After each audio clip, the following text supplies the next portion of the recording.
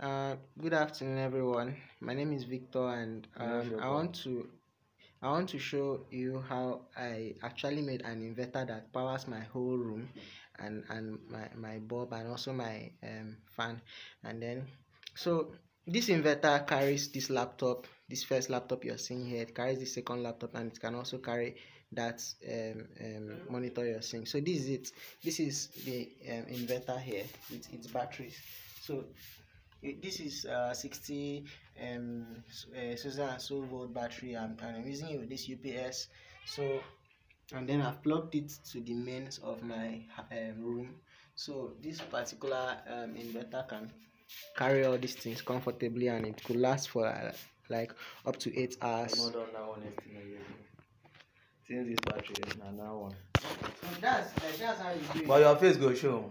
Eh? you know if your show if my show your show anybody show it doesn't really really matter like that.